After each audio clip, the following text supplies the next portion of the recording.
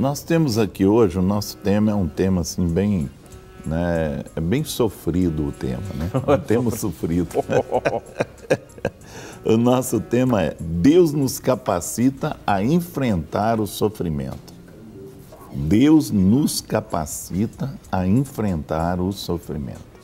Não é? é tremendo isso. Eu sei que você não quer sofrer, né? mas se estiver passando dentro de uma situação circunstancial, Deus vai te capacitar para superar isso, te dando sabedoria, te dando estratégia. Nós vamos ver isso aqui, né? Mas primeiro eu vou ler aqui o texto que é 2 Coríntios 12, de 7 a 9. Nós temos aqui o nosso apóstolo Paulo aqui, que não tem pessoa melhor do que ele para nos citar isso, né? Pelo que passou, pelas situações e conseguiu sair lá na frente, né?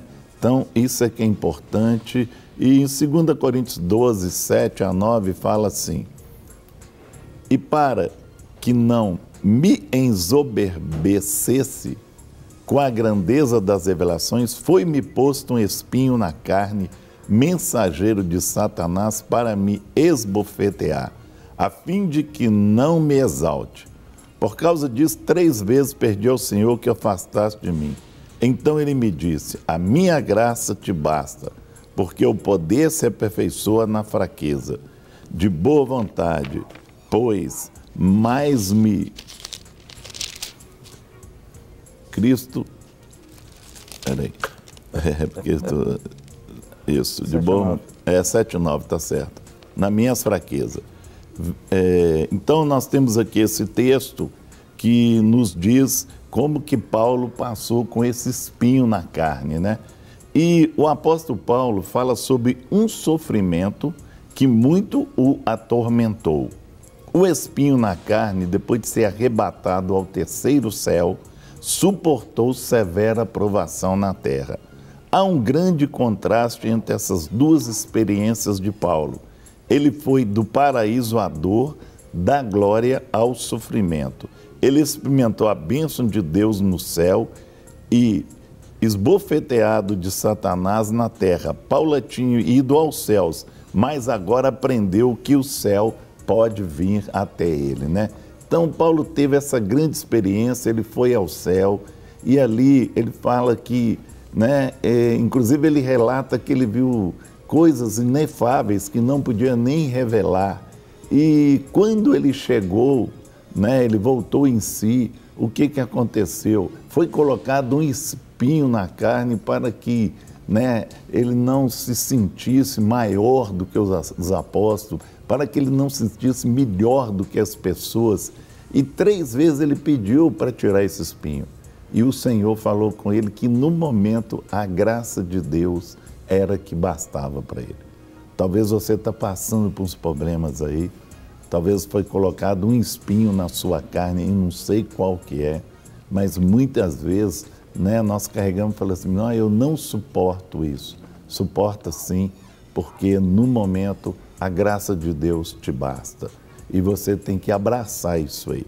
Né? Nós lemos o texto aqui vimos né, que Paulo mesmo fala que né, tudo aconteceu para que ele não se ensoberbecesse.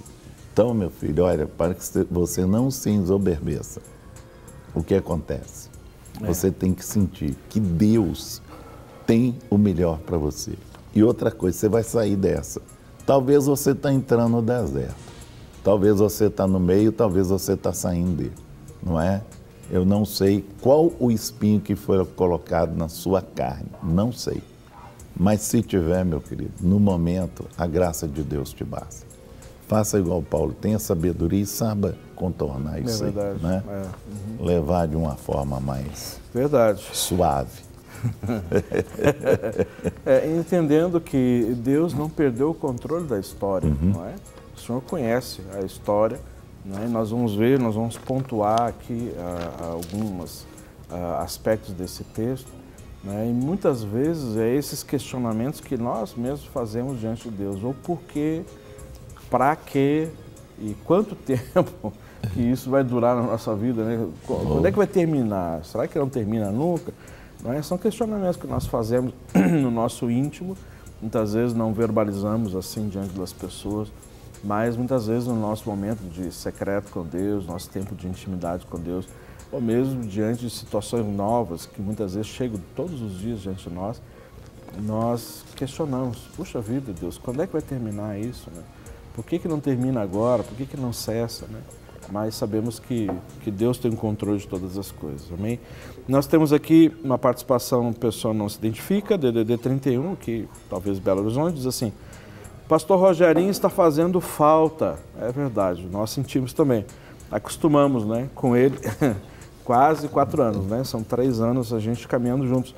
Será que ele parou para pensar no tanto de almas que Deus o usou para salvar? Essa é uma é. pergunta que só ele pode responder.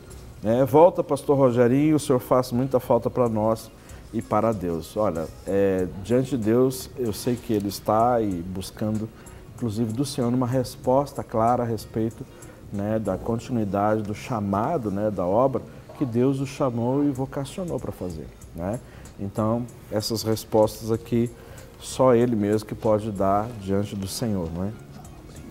Temos aqui é, uma outra participação, alguém que pede para não se identificar, é, pedindo aqui um pedido, um pedido de oração, né?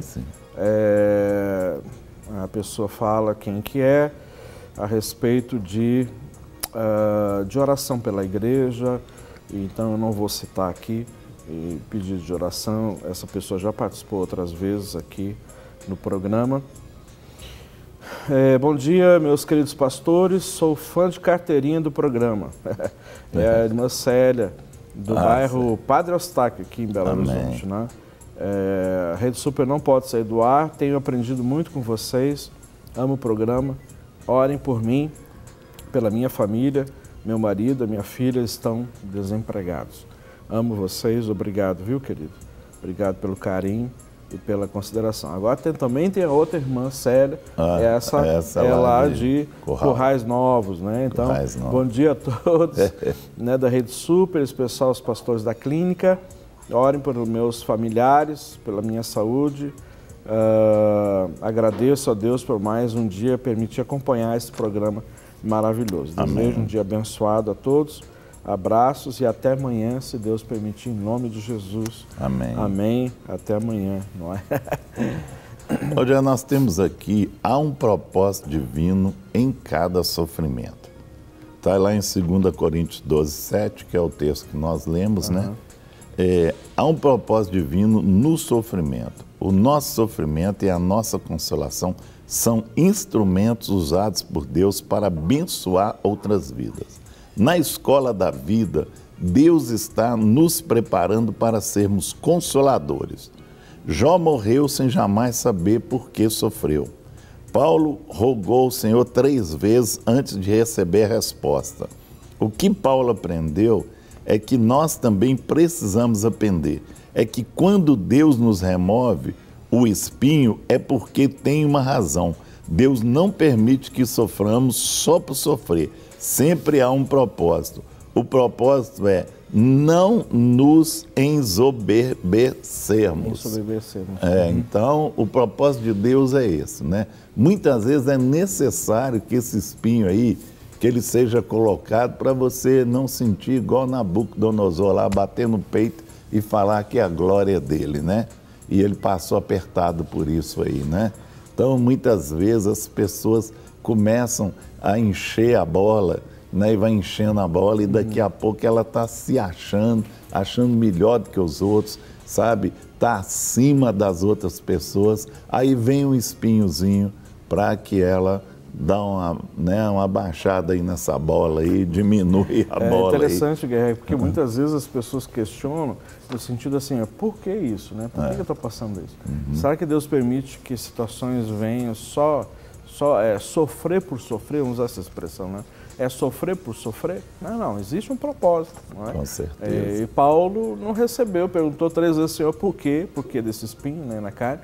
Mas na realidade é esse entendimento, né? Deus permitiu e permite certas circunstâncias, circunstâncias acontecer nas nossas vidas para justamente nós não nos ensoberbecermos, ou seja, não criar essa soberba, autossuficiência. Puxa, Deus me usa tanto, tem tanta unção, me dá tanta unção, tanta graça, tanto favor. Não é? Então, esse é o entendimento, não é?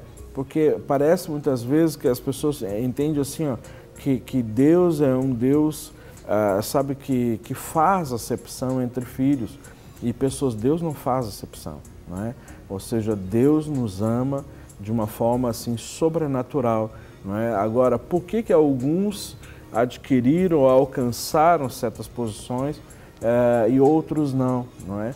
E muitas vezes a chave está aí que nós vamos ver aqui nos outros pontos, é Sim. essa realidade de que, na uhum. realidade, alguns, ou seja, os seus corações estão mais moldados, Sim, né? ou seja, vasos já estão mais lixados, uhum. né? pessoas que realmente reconheceram e reconhecem que não são nada sem o Senhor, não é? Sim. Outros ainda ficam se achando, então ah, o tratamento aí talvez vai oh. demorar um cadinho. É, o espinho é maior, né? é, verdade. Aí o espinho é maior, demora a sair, a tirar, né? Nós temos aqui uma participação da DD 97. Bom dia, pastores. É a primeira vez que eu participo do seu programa. Olha que benção. Uhum. Bem-vinda, né? No nome de Jesus. É, vim pedir oração por mim e a minha família. Eu me chamo Raquel e sábado será o meu aniversário. Né? Farei 24 anos e eu gostaria que o senhor orasse por mim. Amém, que bênção, né? Então nós vamos orar sim, no nome de Jesus, por você. Aqui no final do programa vamos apresentar a sua vida diante do Senhor, para que você continue, né, permitindo ser moldada né, para a glória e o louvor do Senhor. Né? DDD 81, bom dia pastores, abençoados, eu ainda sofro muito com a perda da minha mãe. É, eu gostaria de saber se a, a, gente só morre no tempo de Deus? Com certeza. Deus perdeu o controle da história? Não, Não, nunca, jamais. Não é? Provavelmente, assim, às vezes somos surpreendidos. Puxa vida, mas olha como aconteceu.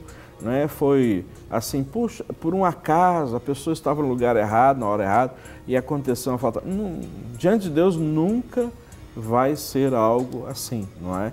Na realidade, Deus tem o controle de toda a história das nossas vidas, não é?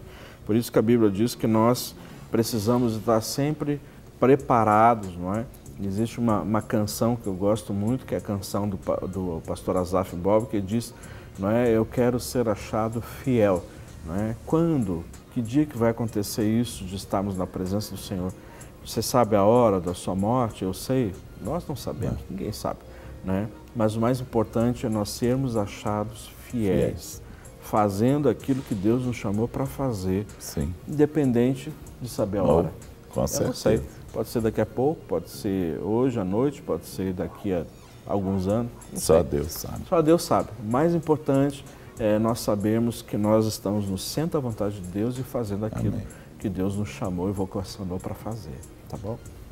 Já nós temos aqui, né, nós estamos falando sobre propósito, hein? Uhum. o propósito é não nos ensoberbecemos, okay. né? A palavrinha meio, até meio chata é, de falar, é, né? É, é ensoberbecermos. Enso. É, ensoberbecemos. Né? É uma palavrinha meio complicada, mas. é isso mesmo. Né? Mas é isso mesmo que eu li. É possível que Deus resolva revelar-nos o propósito de nosso sofrimento. No caso de Paulo, Deus decidiu revelar-lhe a razão de ser do espinho, evitar que ficasse orgulhoso. Quando Paulo orou, nem perguntou por que estava sofrendo. sofrendo. Apenas pediu a remoção do sofrimento. Não é raro Deus revelar as razões do sofrimento. Ele revelou a Moisés a razão por que não lhe seria permitido entrar na terra prometida. Disse a Josué, porque ele e seu exército haviam sido derrotados em Ai.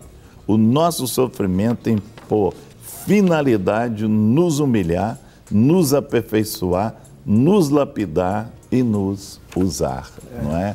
Muitas vezes, né, igual Jeremias lá, que o Senhor levou ele ali no oleiro e falou uhum. assim, olha o oleiro aqui. Aí o barro quebrou, não é? E o oleiro pegou e fez novamente.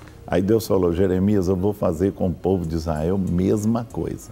Não é? Então, muitas vezes Deus revela aquilo que as pessoas vão passar, mas muitas vezes Ele não revela. Isso. Né? E você está passando por uma situação, Deus não te falou o que é, mas é um espinho na carne. Agora, uma coisa você pode fazer.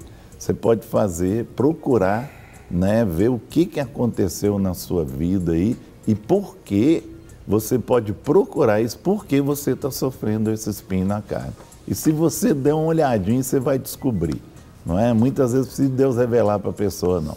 Ela sabe muito bem por que, que ela está com aquele espinho na carne ali, não é? E Deus vai deixar até a hora que Deus achar que deve ser. Até o momento que Deus permitir. Até então não vai ser tirado esse espinho. Pode orar. Paulo pediu três vezes e Deus negou para ele três vezes. E falou com ele: Olha, minha graça te basta. Te basta. Não é? É, é o que você precisa saber. É o que você precisa saber, é só isso. Então é. fica na sua aí, né? E deixa o espinho doer.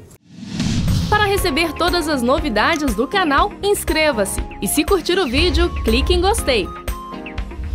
Aproveite para acompanhar a Rede Super nas redes sociais.